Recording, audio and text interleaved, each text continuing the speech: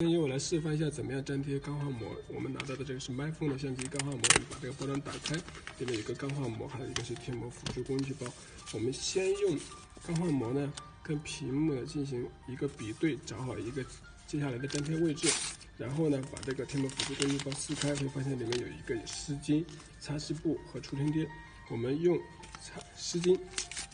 把屏幕给擦拭一下，然后用。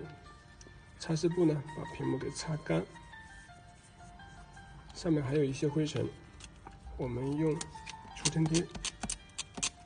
把灰尘给粘掉，然后就是把钢化膜的离心膜给撕掉，把钢化膜给轻轻的放上去，